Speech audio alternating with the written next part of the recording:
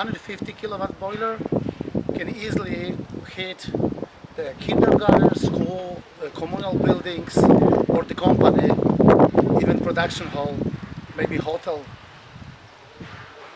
Thanks the wood chip, we get cost-free heating.